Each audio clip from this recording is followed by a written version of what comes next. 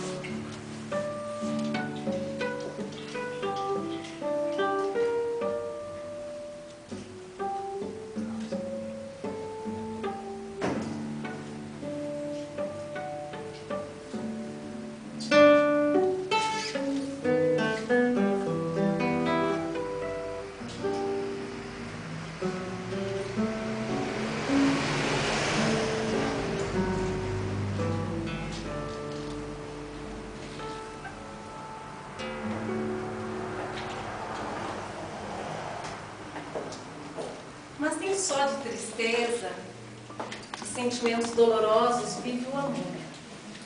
Esta canção que foi tocada e que agora será cantada é uma canção catalã que conta a história de um ladrão. Um ladrão que costumava roubar muitas coisas. E em um certo momento roubou o coração de uma mulher. Assim como Abreu roubou o coração de Araci.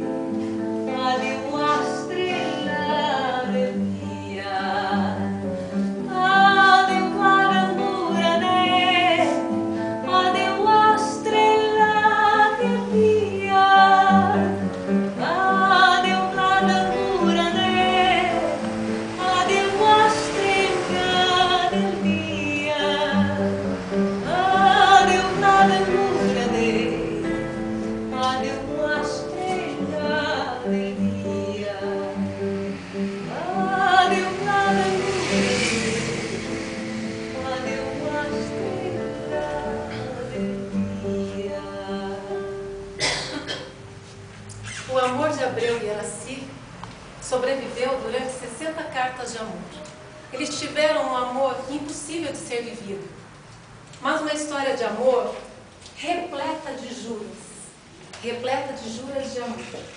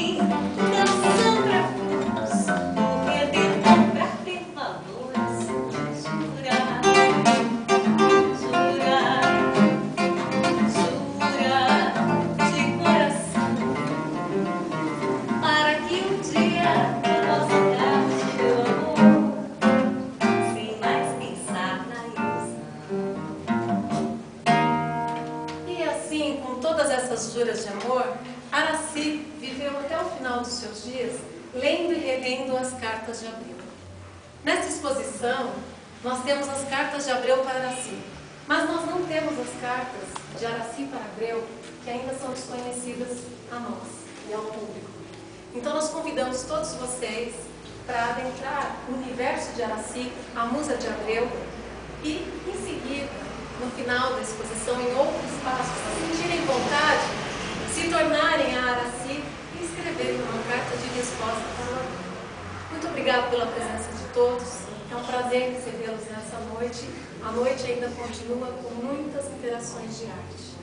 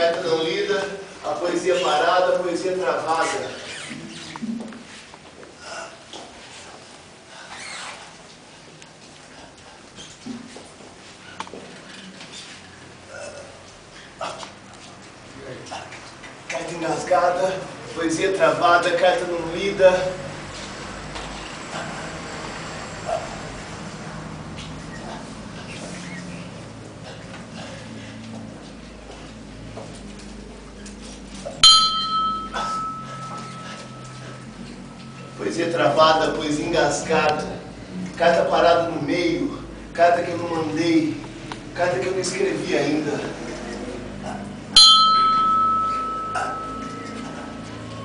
Carta parada, carta não lida, carta engasgada, palavra não falada, letra, letra e número, número da carta 60, 80, 60 escritas, 100 na cabeça, poesia, carta.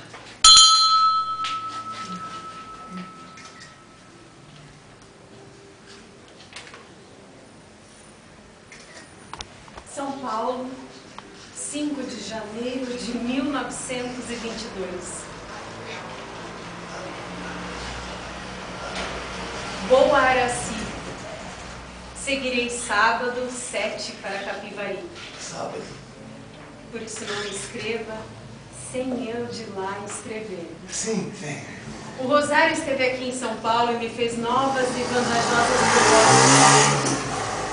Seja o que Deus quiser voltarei para Capivari e mais tarde, depois de eu lá liquidar todos os meus negócios, tentarei os dados da fortuna a vida em qualquer grande cidade. São Paulo, atualmente, com a crise que atravessa, está pavorosa. Eu tenho sofrido. É melhor, pois que sofra junto dos meus, Araci. Saudades. Breve, escrever-lhe não se esqueça nunca do Abel. Nunca aconteceu. Nunca aconteceu. Tá, vai. Você já escreveu uma hoje? Você já escreveu? Já escreveu alguma igual essa? Você já escreveu? Ainda não? E você? Já escreveu hoje? Já leu alguma? Você vai ler, né? Ah.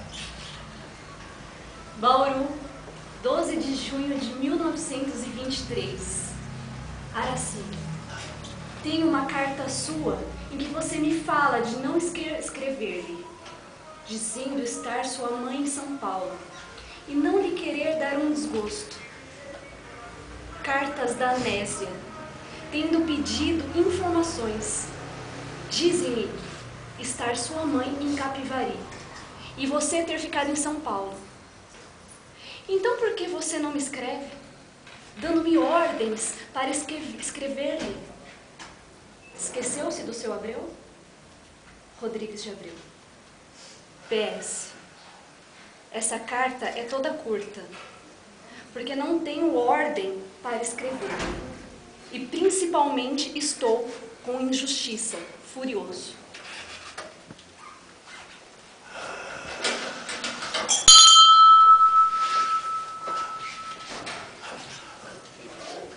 dita, a palavra escrita, ela só existe quando lida. Você já leu hoje?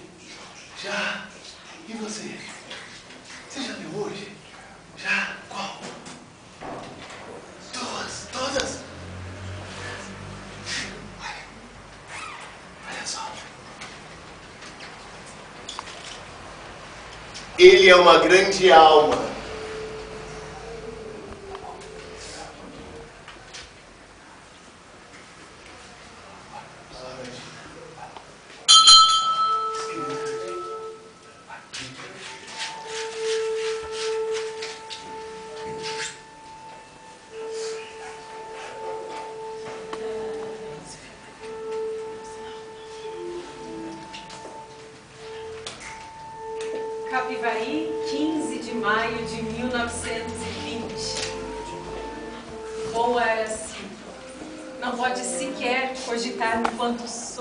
Com essa distância, com essa saudade. Basta dizer que é a primeira vez que isso sucede, depois que nasceste para minha felicidade. Te amo quanto é humanamente possível. Sinto mesmo que tu vives junto de mim, que estás ao meu lado, que me inspiras. E essa tristeza, adoeço-a na verdade de que me esperas. Reza, reza sempre por mim, pensa em mim, ama-me sempre mais. Boa Araci, fada piedosa, desse modo sabendo, eu que tu amar-me-ás sempre poderei lutar e vencer. Sou o teu abril.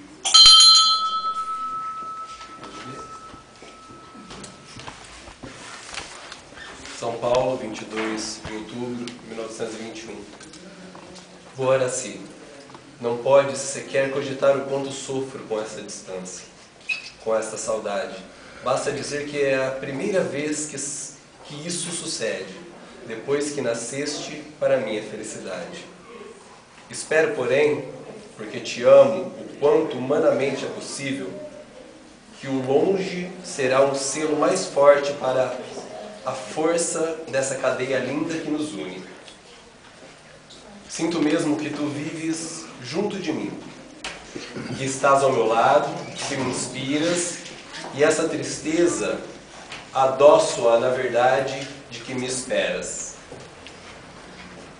Legal ler cartas assim de outras pessoas, né? A gente tem a sensação de que faz tempo que eu não escrevo carta, dá vontade de escrever. Sou da época das cartas, hein? Reza sempre para mim, pensa em mim, ama-me sempre mais. Boa si, fada piedosa, desse modo, sabendo que tu amar-me-á sempre, poderei lutar e vencer. Essa verdade é que me alivia a vida e que me alivia os incertos dias do futuro. Ontem estive em casa do Sr. Pinheiro. Amanhã estarei lá. Sinto-me bom naquela casa, porque lá falamos sobre a tua pessoa. Lá me animam. Escreva-me, afinal não poderia passar sem a, tua sem a tua palavra piedosa de consolo. Sou tão triste assim, sofro tanto longe de teus olhos que me compreendem, Longe de ti tudo é estranho, e a própria glória aborrece e enjoa. Nunca me esquecerei de ti. Sou o teu Abreu.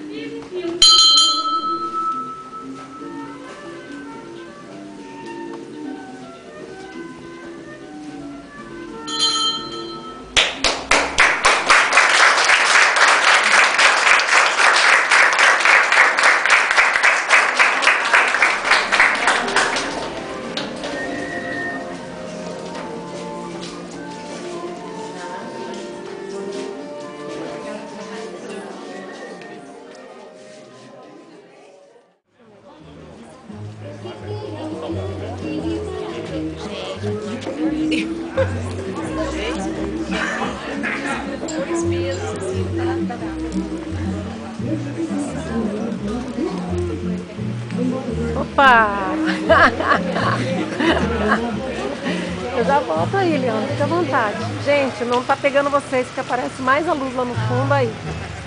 Junta aí, Aninho. Você filme ou é Tô filmando, você adora que filme, eu tô filmando.